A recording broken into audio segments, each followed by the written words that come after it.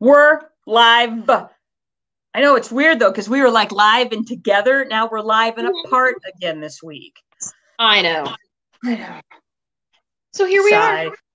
So yes, we were just discussing. Yes, for those of you that uh, are just joining us, Ann and I were just discussing what I'm going to wear for uh, my stepdaughter Sarah's wedding because that's coming up in June, and I am not much of a clothier, uh, as you know. Though I do know what I look good in, and I actually do have some taste in, even though I choose not to cover myself in. I don't know. It's just so much work.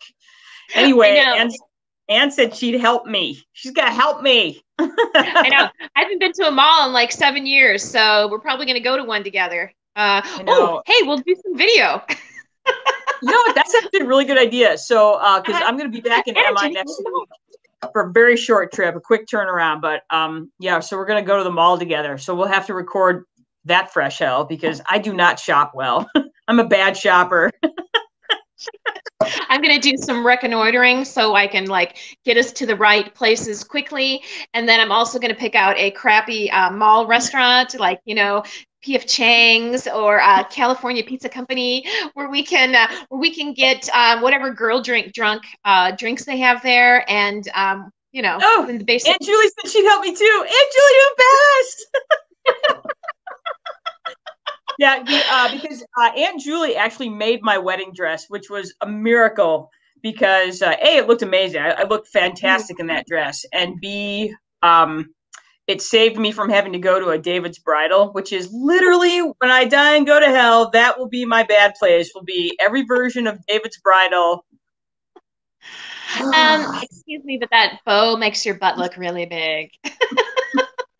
but it will be a bow that I won't be able to take off of me. It will be like my forever bow. It'll be like just changing different huge bows. Uh, I know. It's, you know, it's so funny because everybody has their thing that they like are afraid of or hate. I just I hate shopping, and I hate shopping for clothes more than anything. And I don't really know where that came from, but it's a thing. it's a thing. yeah.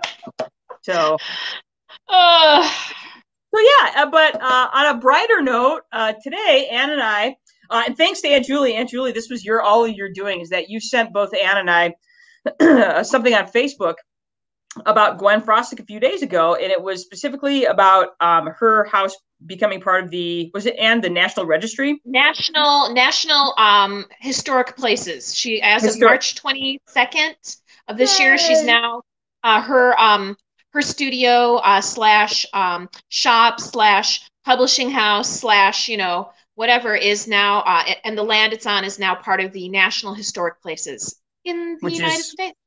which is fantastic. So that prompted the, the thought of, well, Anne, how come you and I have never talked about Gwen Frostic? Because she's amazing. And honestly, as far as historical people in our lives, Gwen Frostic is a big part of the brothers sisters existence. So, Mhm. so yeah. Um, so for those of you that have no idea who Gwen Frostic is, she is. If you don't come from Michigan, you might not know who she is because she's very much a Michigan icon. She was born and raised in Michigan, um, and for those people that live in Michigan and know her work, um, pretty outstanding. So we thought we would put together a little. This is who Gwen Frostic is. This is why she's awesome. This is why you should know about her. This is why more people should know about her. So I'm going to go ahead and bring her into the stream here, and I'm going to get rid of our brand real quick, like a bunny.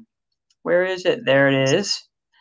And oh, that's what I'm talking about. And we'll get to talking about it. So, Mhm. um, anyway, you're looking at the, so this picture. This is Gwen Frostic. Um, and you're also looking at some of her artwork. So just to, so you know who she is, she was an artist, poet, naturalist, role model, entrepreneur, super genius is how I think you can describe her and the impact that that she's had. So, uh, and would you like to talk about uh, who she was? I would love to. Uh, first, though, I, I do want to mention that uh, one of the reasons why um, Gwen Frostic means so much to me is because, one, she was introduced to us by our grandmother brothers. And if the um, brothers sisters uh, have a patron, a secular patron saint, it would be Avis Brothers. And Avis Brothers introduced us to Gwen Frostic on a camping trip when we were little girls. I mean, I'm talking elementary school. Uh, she took us to her studio, and it was uh, the first time I realized that you could be a woman from Michigan and be an artist. That was the first time I've ever seen that. For me, artists were old white guys uh, who were in museums. So this was the first time I ever realized that that and i also realized that the natural world could be an inspiration and that the smallest parts of the natural world the ones that were around you every day could be that inspiration. It didn't have to be this ginormous thing this ocean or this landscape or whatever. It could be the smallest thing. And that was really that that shaped a lot of uh, of how i view the world now. So that's why she was very important to me. And i owe my grandma brothers that for introducing that to me. Uh, Jenny? It's, it's, go ahead. No, no. I, I was wondering, I was curious as to why she's so important to you. Well, you know, it's funny because as children, I would say you were always much more in touch with that uh, emotional center, that kind of, and I wasn't. Um, I just know that I really liked going there. It was neat. It smelled like outside. And I couldn't, unlike you, I could not express why I liked it. I just, I loved it. And I looked and it was like every time we went up north, it was cool because I'm like, oh, we're going to get to go to Gwen Frostic's. And it's not that um, I liked looking at the printing presses, and I really just liked going and looking at the pond outside of her house. And I liked the, the cool green roof with all the grass growing on top of it. And it wasn't until I got older that I really started to appreciate and understand uh, her art and the simplicity of um, both what she was drawing and what she was writing. So that took much longer for me. I just knew that as a little girl, I really loved it. And I liked that Grandma Brothers took us there. And I liked the fact that nobody else went there. Like when we were kids, nobody else was doing this. Everybody else was just going camping and going to the lake, but we were going camping and going to the lake, and we were going to Gwen Frostic's. So mm-hmm. there you go. Yes. There you go. yeah. okay. So, a little bit about Gwen Frostic. Gwen Frostic was born, raised, lived her entire life in Michigan. She was born in um, April 26, 1906, in Sandusky, Michigan. And at the time, not that Sandusky is a big metropolis now, but then it was the, literally the middle of nowhere. So, she was born in a very isolated place. 1906, you have to remember pre antibiotics, not very many people had cars. We're only about 35 years into sepsis theory. So, the idea that germs cause disease, you know, so it was a this was a different time and place. Uh, she lived until April 25th of 2001, and she died in Benzonia, Michigan. And actually, her um, she's buried in the cemetery there. So Jenny, I think we need to go there and um, have a little uh, pilgrimage to the um, burial place of Gwen Frostic because you know Benzonia is actually in northern. So here's Michigan. Benzonia is like. It's on one of our slides. So. Oh, good. Okay, awesome. Awesome. So it's, it's, not that far from, you know, if you're in Michigan, it's not that far from you. Um, no. it, when she was a little girl, she suffered from really high fevers, uh, and it left her, it was an unknown illness. Some, there's some speculation that maybe she had polio, but it was never confirmed. Anyway, it left her with like a cerebral palsy, like um, after effects. She had a limp and her hands were very weak, which was interesting to think that she was an artist and did a lot of carving. So she worked really hard to maintain any sort of strength in her hands so that she could do her artwork. So that was too, and so that affected her entire life. It was hard enough to be a woman in this time, but she was a handicapped woman at this time. So her the fact that she was self-supportive and not just self-supported, but a millionaire when she died uh, speaks to how hard she worked. She graduated her uh, parents actually went to Eastern Michigan University when it was still um, Eastern Normal College. Uh, they both got teaching certificates, and her father ended up being a principal at Wyandotte High School, which is where she spent uh, the majority of her later youth, and she graduated from Wyandotte High School. She went to Eastern Michigan University. Hi, got her teaching certificate. Uh, Jenny and I are excited about that because we both went to Eastern Michigan University. She also went to Western Michigan University, and that's where she studied art. Uh, in 1929, I think this is when she really started. I mean, she had spent time up north in the Sandusky area, but this is where she really got to know the Frankfort, Benzonia area because she was a camp counselor in 1929 at a place called Osha of the Dunes in Frankfort. So I think that's where she first found her love of that area because that's where she ended up moving and really establishing. Well, she was an established artist before she moved up there permanently. but I think that in, influenced where she ended up. Um, she started as a metal artist and um, taught school. Uh, she ended up leaving the metal arts because um, during World War II, metal was so hard to come by. And she ended up working um, with uh, linoleum. So she would carve things. It's actually called, um, what's it called? I have it here in graduated commission. Oh, uh, linen cut, lino-cut block prints, which were actually carved prints, but it's basically linoleum. So carving out of plastic. So she switched to that. Um, uh, during World War II. She actually also worked as a tool and die drafts person. So she was drawing, you know, pictures for tool and die in the um, bomber factory of Willow Run here in Ypsilanti. And um, she worked six days a week. So that's impressive because here she is with a limp and weak hands, and she's a draftsman, a draftsperson, drawing all the, you know, the technical designs for different, um, different mechanical um, objects. So very cool. um, after World War II, she started, and this is the company that uh, Gwen Frostic is known for, Press Craft Paper, and she started it in Wyandotte. And I believe, because I read it, one of her books, I believe she started it in her parents' garage. So this is where she started her press um, press craft paper company, and she was basically using her drawings and making things like uh, stationery. So that's where she got started. She was successful enough to be able to open a summer shop in Frankfort, Michigan. And this is the time in Michigan, in fact, you see it even now, when up north resort areas pretty much folded up the sidewalk once um, once uh, Labor Day passed because nobody would come up there. So she would open up a storefront downtown in Frankfort in the summer, sell her paper craft, and then close up in the fall and head back to Wyandotte. And she did that for a number of years until she bought 40 acres in the wilderness um, outside of Benzonia, Michigan, which is about, I don't know, 15 miles um, east of Frankfort. So it's not on Lake Michigan. It's, it's about 15 miles into the woods. And there she started designing her studio slash home slash print stop slash store. And the whole idea was that it would be one with nature. So you would come across this building and it would almost blend into the natural environment of the wilderness, of the forest. And so it was all made of found uh, rocks and boulders. And then the roof was made out of green sod. So it continued to grow. It wasn't just a sod roof, but a roof that continued to grow, which you see nowadays. But she was I'm not exaggerating, like 50 years ahead of herself on that. And then the there was a natural warrior. Mm-hmm, there was a natural spring on the property, and so she had it so that the spring actually bubbled up into the studio. And then her studio was set up where she had all these little nooks and crannies and windows where she could go and sit quietly and wait for nature to come to her so she could sketch it.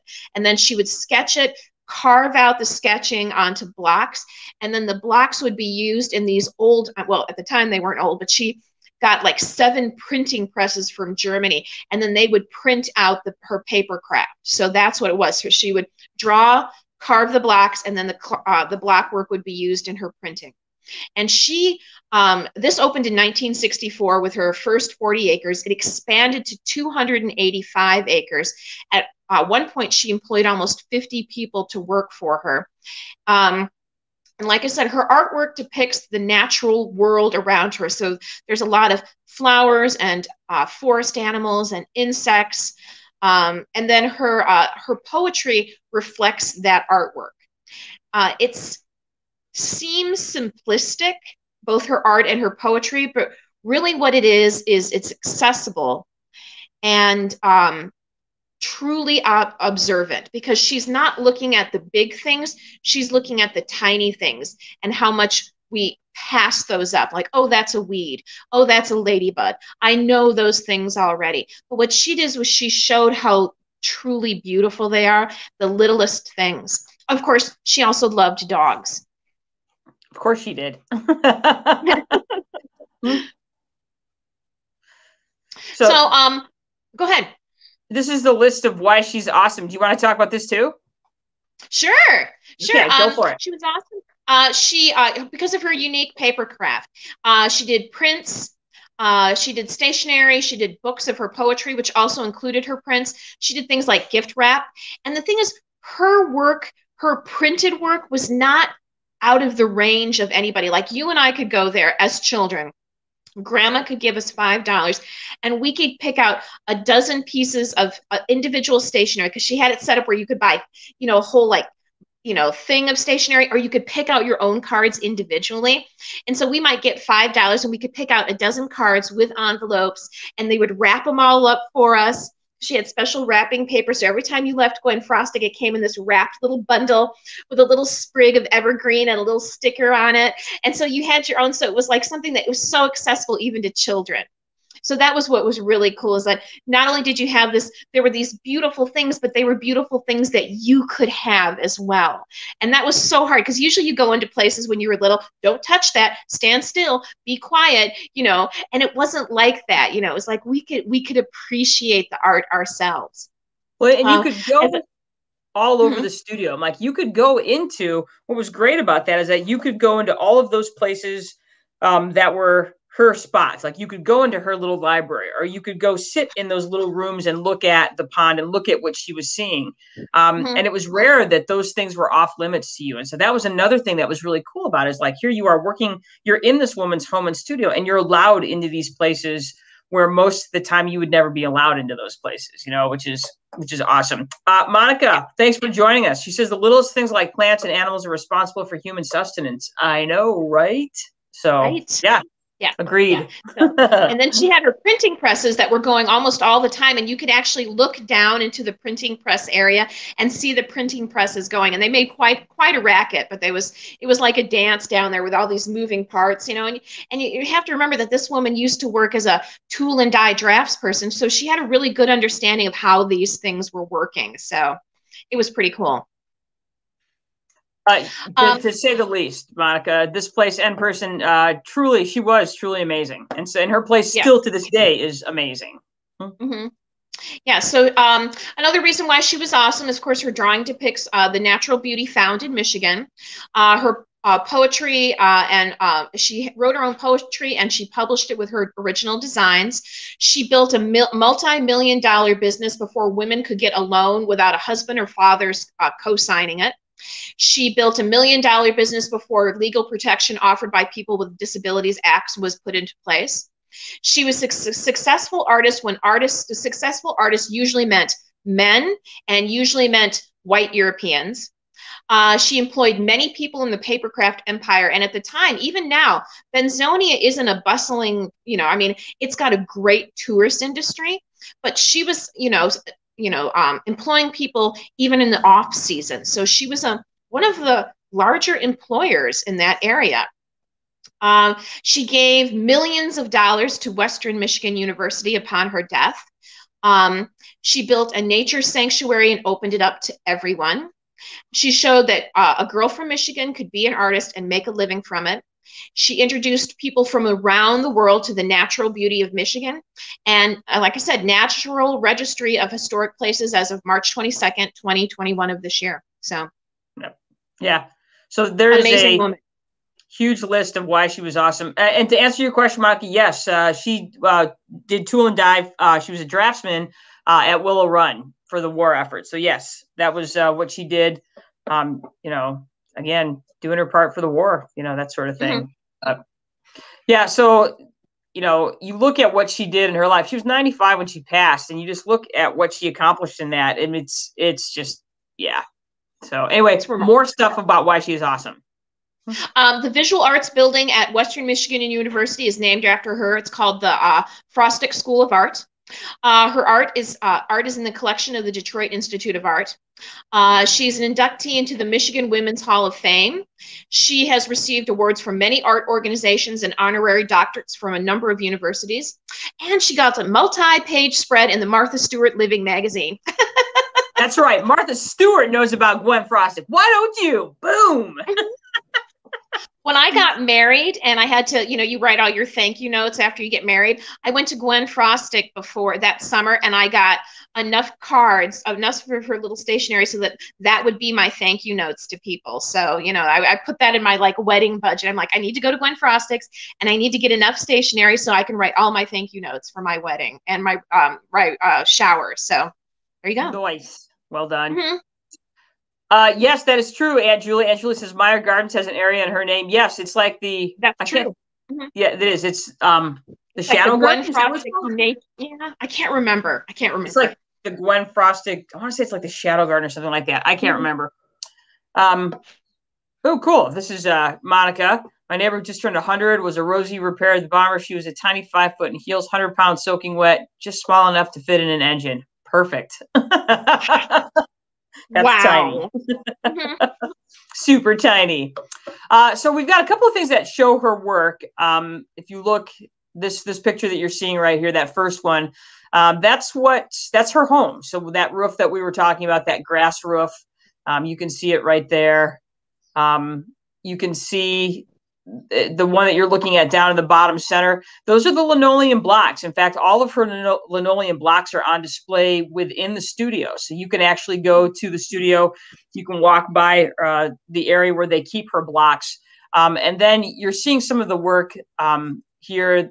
This is one of her books, uh, A Place on Earth, the one in the um, upper center. And these are examples of the, the stationery. And you can see some of the, you know, the majority of her work um, is is the natural world. So it's birds, it's trees, it's insects, it's plants, you know, and flowers, trees. And that's, you know, that's what you're looking at. Like I said, it, it is all a reflection of, of the things that she has seen and the things that she has noticed. And here's some more, a little bit, uh, a little bit more closer view of some of those things. These are some of the, the ones I picked. These are some of my favorites. Uh, and again, um, probably my favorite favorite is the, uh, the the blue heron. That's the one thing I showed on the cover slide. That's one of my mm-hmm. favorite things of her, and it does. It reminds me of uh, of my grandmother because she always seemed to spot the blue herons. Um, and I can remember her, you know, telling me about that. The first time I ever saw a blue heron or noticed seeing one is because Avis pointed it out to me, and the fact that they kick their legs back to act as a tail as they fly, and that was like that was something that I was loved. Um, the other thing is I love this, uh, the one down at the bottom towards the left uh, with the quote that says, uh, let them live in your eye, not die in your hand. And I, I absolutely love that because, you know, we tend to pull nature from its home in order to make, you know, to put it in our house and make it look beautiful. But I, I love the idea of just leaving it where it is. So the other one up there is the, the raccoon has always been a favorite of mine as well. So, but these are some examples of, again, this really beautiful what and I like I said, simple is the wrong word to describe her art. to me, though, it's almost like when you talk about simple, uh, you talk about you know people talk about French cuisine in terms of its simplicity, but it's also its simplicity which allows you to be to, to make it excellent. And I I look at Gwen Frostic's art like you do French cuisine. That it's yes, it may look simple, but there's something about it that is so exquisite that to me there you know th- those things work the same in my head. So that's what I think. Uh, as far as far as say again. Oh, I agree. No, I, I was going to say simplicity is deceptive. Uh, it makes you think it's easy. Simplicity and easiness are two different things. Well, and especially when you consider that if you're looking at this work, these are things that she not only sketched, but then she carved them into linoleum, which right. is not an easy thing to do. So you, know, you, you think about the time and you know the technique that it that it is to do that. So it really is remarkable when you think about it in that sense. And to uh, be able to think as, about think about like how is this going to translate into a print from a block so mm-hmm. you know that's that's another thing too is that how does this translate so not only does she have to draw what she's seeing but then how does it translate into another medium which is not an easy thing to do Nope. Nope. Uh, this is uh, where to find her work if you're looking for Gwen Frostic. And Anne was describing it earlier, like on the map.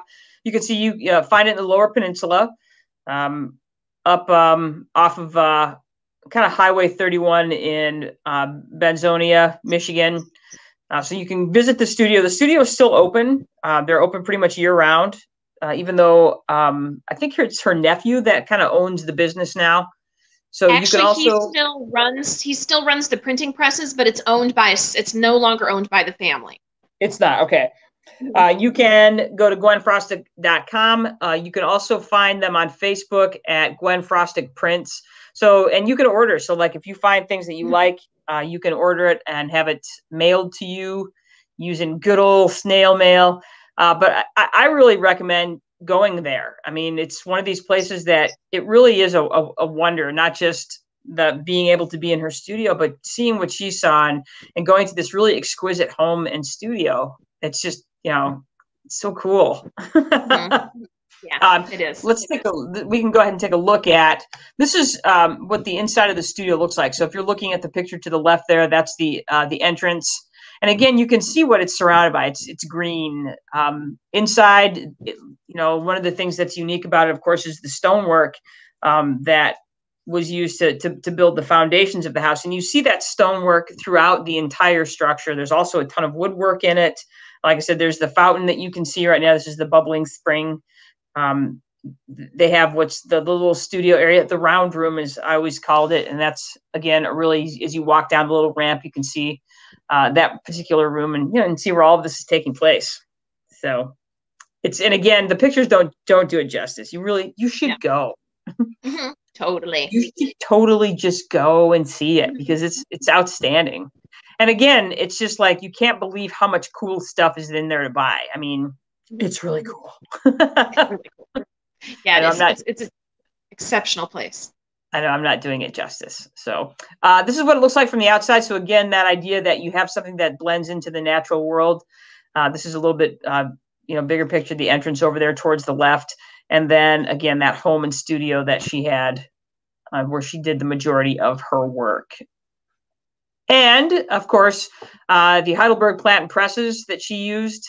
Um, and again, those presses are still hard at work doing their thing. That's still how they do mm-hmm. the work. You know, so these are presses that are you know over 100 years old. So again, mm-hmm. good job. Uh, I can't even imagine trying to maintain and get parts for those, and you know that's got to be that's got to be something else.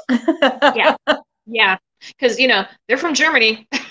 yes, and yeah, again, what's really cool is that as you walk through the shop, you literally can you know the the um, as you as you kind of walk your way through, you can literally just kind of stand and look at the print the presses. And you know, some days they're uh, they're fired up, some days they're not. Just depends on what day you come in. But you can, you know, overlook this entire printing operation, which is again is cool. it's cool. it's super cool. Uh, Monica says the house looks like uh, what would happen if Laura Ingalls and J.R.R. Tolkien got together for an architecture project. I know, right? exactly.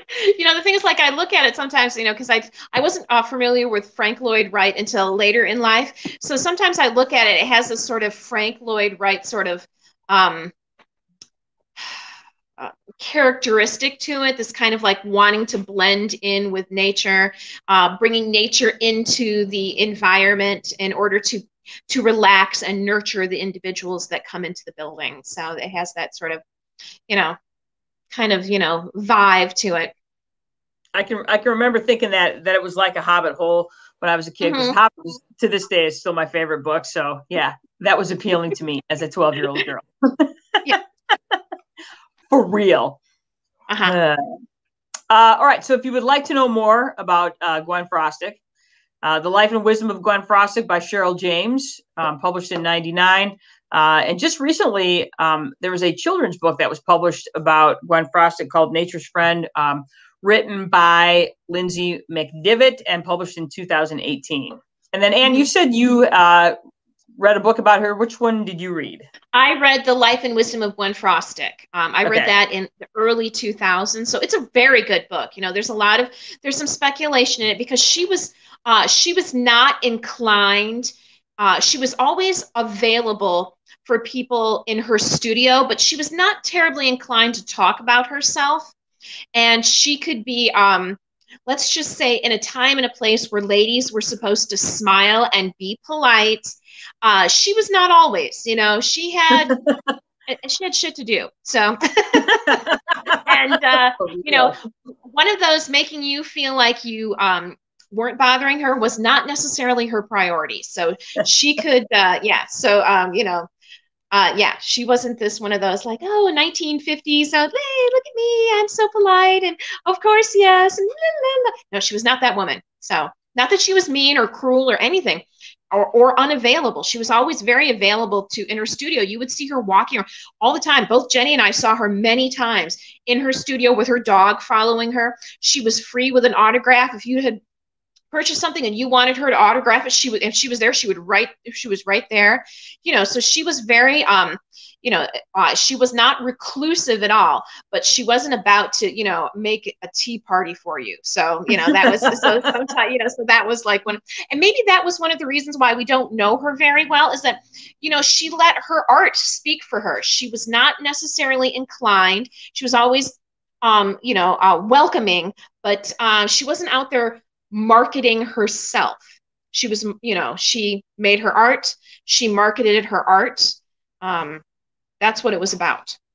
For real. Yeah. And I think mm-hmm. that's one of the reasons to love her is that, you know, in terms of what she wanted for herself and what she was able to do, it's just, this is mm-hmm. just brilliant, you know, and that's right. You know, and so I, you know, we were kind of talking about before we uh, we came on today about how it's amazing, you know, that that really outside of Michigan, she's not a well-known uh, artist, and and so that's why we're talking about her. that's why we're talking about her. Yeah, yeah. and uh, you know, it's funny because I have like where I um in I have uh, I'm a massage therapist, and I have in my room a number of things uh, like a drawer. I have a small dresser uh, drawer uh, set, uh, and I have uh, decoupage on the top, a bunch of her prints. And it's amazing how many uh, Michigan people come in and it's like, oh, I see you have Gwen Frostic. Oh, I love Gwen Frostic.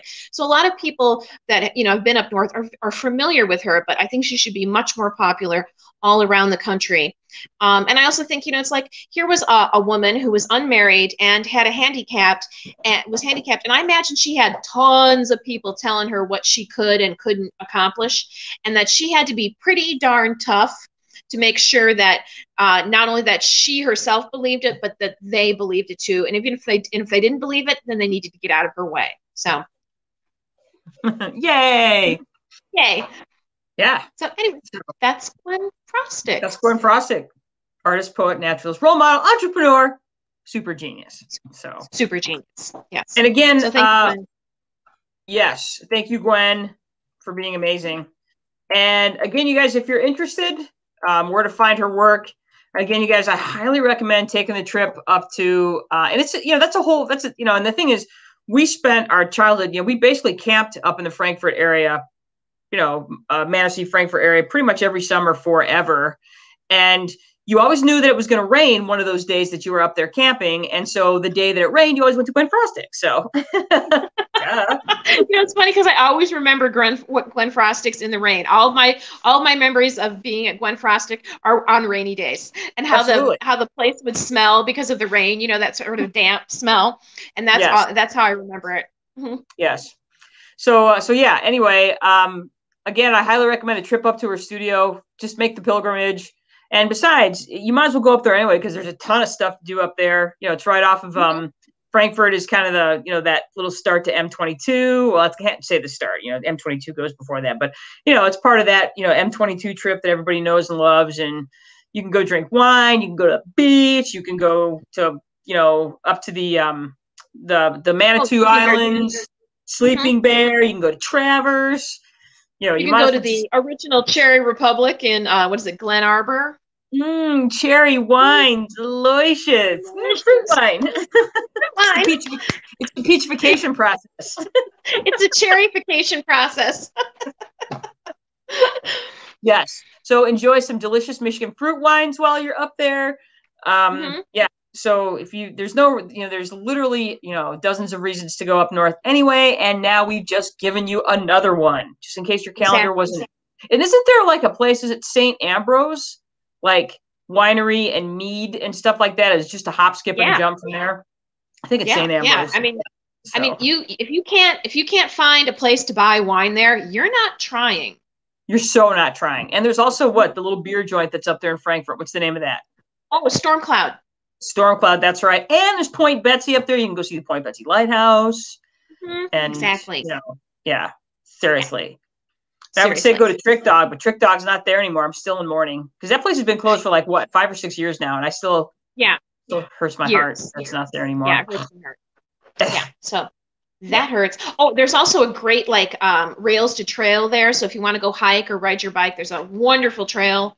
Um, so you know, there's we could, uh, we could literally again, just do a whole talk about the M22 corridor if we wanted to. So, we could, we could, we yeah. could do like we could do like one for each like like oh, here's what you do in Frankfort. Here's what you do in Empire. Here's what you do in, you know, fill in the blank. So. and, oh, Nicoma, exactly. Oh, Nicoma. Yeah. And uh, yeah, uh, I'm sorry, Monica. We don't mean to make you homesick. Maybe it's time for you to come for a trip. I'm just saying. So, yeah. yes, exactly. Yeah. yeah. Anyway, that's that was our talk about Gwen Frostic and who's amazing. And there you go. And I'm going to go back to our first slide so that you can see her again because she was amazing. So she was amazing. Uh, if you have questions, concerns, or comments about Gwen Frostic or any of her work, of course, you can hit us up on the Facebook.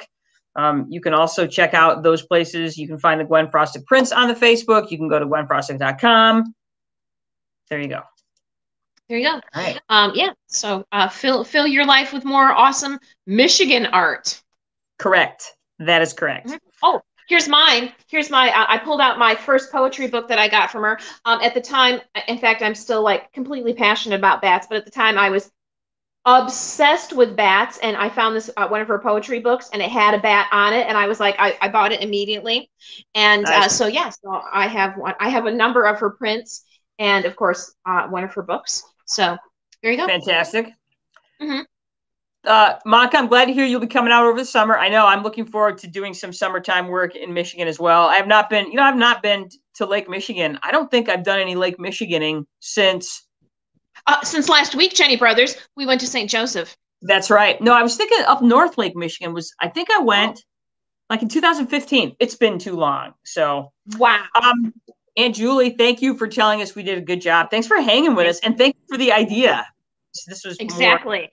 More, more I, I was I was mad at myself. I'm like, why didn't we think of this sooner, Jenny? But that's why we have oh. such wonderful people in our lives, so they can say, hey, maybe you should talk about this. I'm like, hey, you're right. Yeah. You're right. We should. Yeah, you get. It can't all be chocolate movies. I don't know. Uh, we have to talk about the Melissa McCarthy, um, Olivia Octavia Spencer movie that's on Netflix right now for its incredible badness. Okay.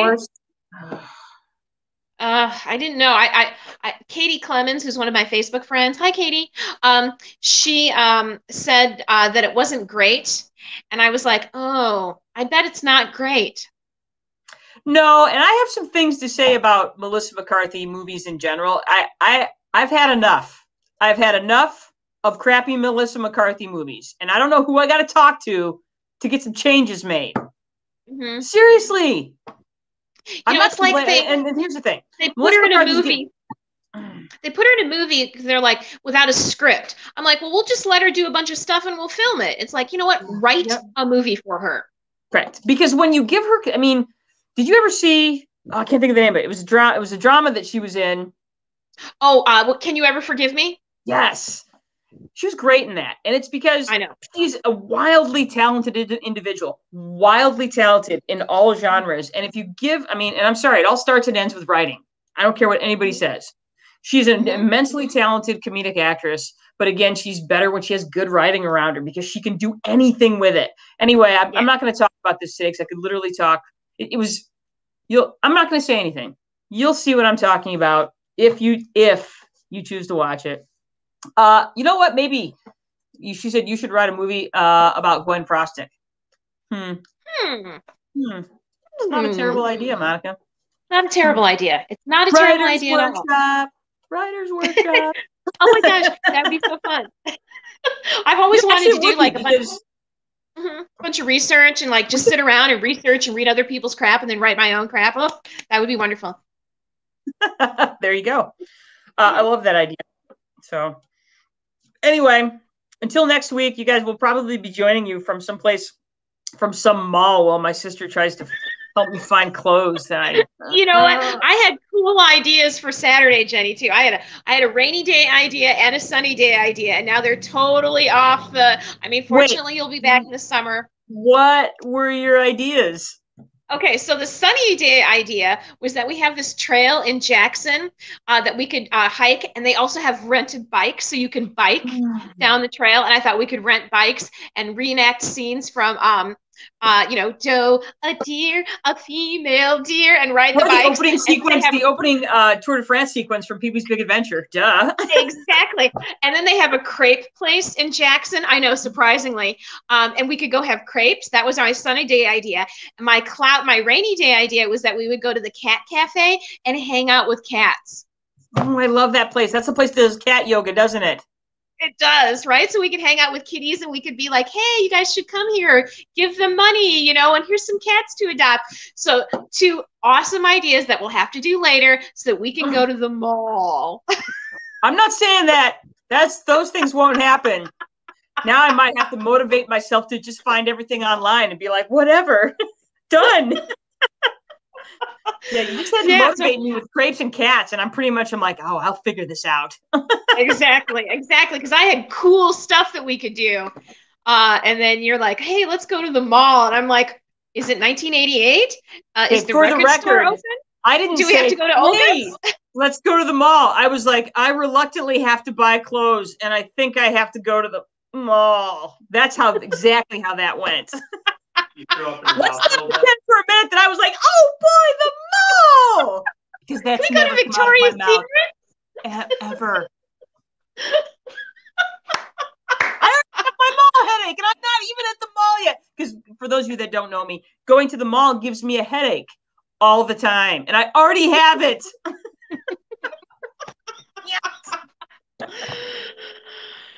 Uh, alrighty then. Well, until next week. Until next week, thanks everybody. Go out and uh, look up and as the people like to say, do your own research on Gwen Frostic, okay? Even Yeah. though we did most of it for you, so you're welcome. Yeah, good. exactly. You're welcome. Uh, have a great week, you guys. Oh wait, how the hell did you do? You get a cat into the Lotus? I'm like, um, they just get themselves into it. You have to Oh, get have you ever seen a cat do that? I'm like, they can put their head up over their leg up over their head and then clean their butt. I mean, I, they're they're yoga masters. They are. They're way better at it. So, Mhm. Exactly. thanks, Monica. Thanks, Aunt Julie. You guys are awesome. Bye. Thanks, everybody. Have a Bye. good weekend.